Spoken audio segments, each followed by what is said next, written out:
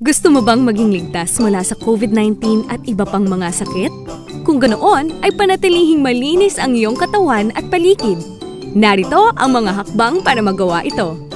Para sa kalusugan mo at ng iyong pamilya, sundin ang mga payong ito sa paghanda at pagkonsumo ng pagkain. Hugasang maigi ang gulay at prutas bago kainin.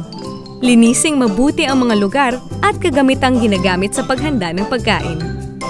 Panatilihing balanse ang pagkain. Gamitin ang pinggang Pinoy bilang gabay. Huwag kainin ang mga pagkaing expired na. Uminom ng walong basong tubig kada araw. Tandaan, kahit bata ay pwedeng makatulong sa pagpigil ng pagkalat ng sakit. Gawin ang mga ito para siguraduhin ang kaligtasan mo at ng mga taong malapit sa iyo.